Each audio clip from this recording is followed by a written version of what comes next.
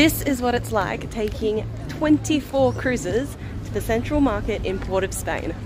I found myself in charge of the Cruisers Market Bus. It is a bus that heads into the Port of Spain Central Market, organised by cruisers for cruisers, with the help of two fantastic local drivers. Once we arrive, you walk through the food court and then everyone splits up to go and get what they need for the week ahead.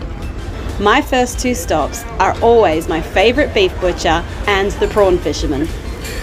From there, it's out to the fresh fruit and veg, where I also get my herbs and free range eggs.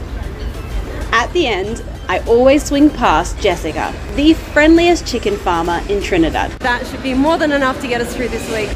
After an hour at the market, our drivers, Larry and Earl, come pick us up and we all get dropped back to the yards.